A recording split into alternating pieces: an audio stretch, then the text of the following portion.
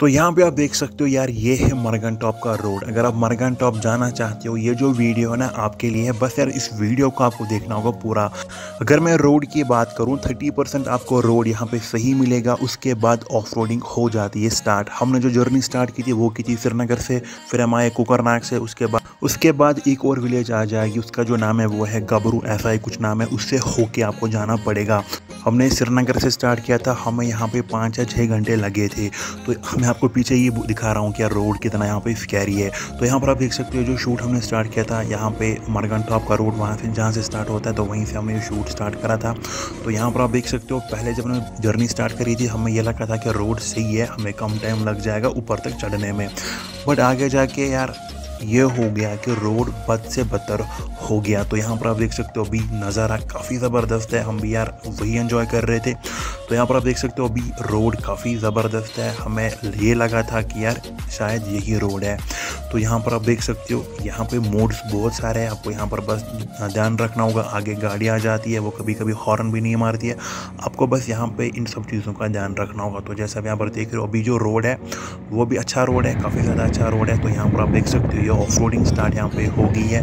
तो यहाँ पर आप देख सकते हो, बाइक पर ऑफ़ रोडिंग करना, वो भी ऐसी जगह पर जहाँ पर रोड है ही नहीं, बिल्कुल है ही नहीं। यहाँ पर आप देख सकते हो बहुत ज़्यादा मुश्किल था यहाँ पर हुआ क्या था? हम बंदे दो थे। ऊपर से बाइक पे सामान भी था। हम यहाँ पे एक नाइट के लिए गए थे। तो जैसा आप यहाँ पर देख रहे हो रोड काफ़ी ज़्यादा यहाँ पर स्कैरी था, बहुत ज़्यादा स्कैरी था, जैसा आप यहाँ पर देख रहे हो। रोड का नामो निशान था ही नहीं। यहाँ पर काम चल रहा है आपको पता नहीं कि कब तक यार वो पूरा हो जाएगा।